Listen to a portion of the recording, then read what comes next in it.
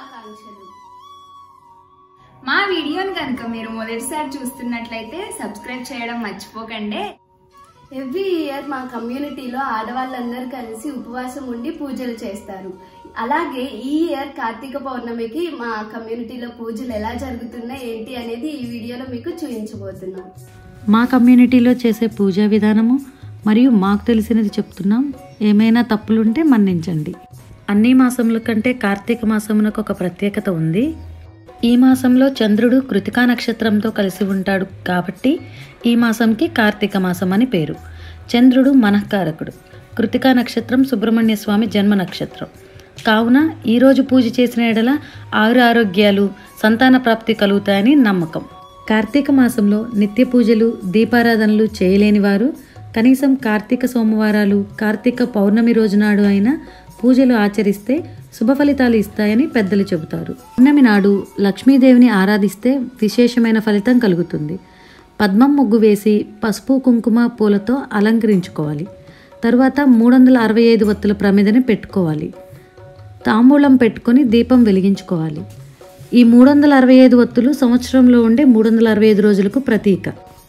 రోజు దీపారాధన చేయలేని వారు ఈ మూడు వందల అరవై ఐదు వత్తులు వెలిగించడం వలన సంవత్సరం పొడుగునా దీపారాధన చేసిన పుణ్యం లభిస్తుంది. పూర్ణచంద్రుడిలో లలితాదేవిని భావన చేసి లలితా సహస్రనామం చదివి పాయసం నివేదనగా ఇస్తారు.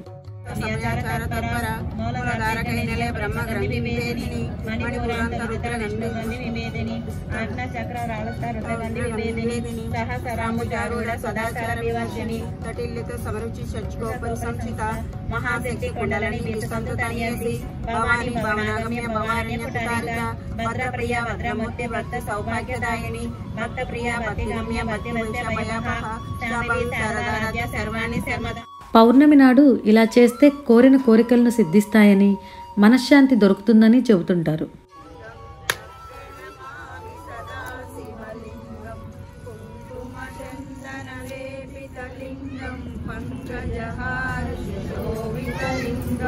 చివరిగా నైవేద్యంతో చంద్రుడికి అర్ఘ్యం సమర్పిస్తారు.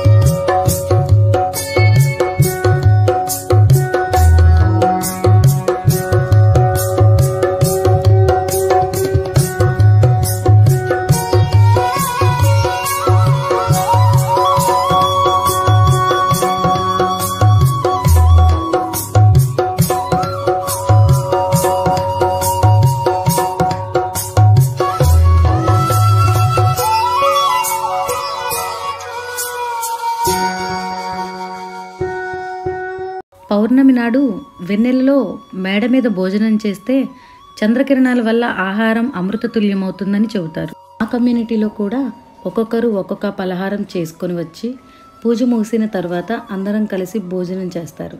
ప్రతి సంవత్సరం కార్తీక పౌర్ణమి రోజు ఇలా మాకు ఒక పండుగలా ఉంటుంది. ఇవేనండి మా కమ్యూనిటీలో జరిగిన కార్తీక పౌర్ణమి పూజలు చాలా బాగా జరిగినాయి.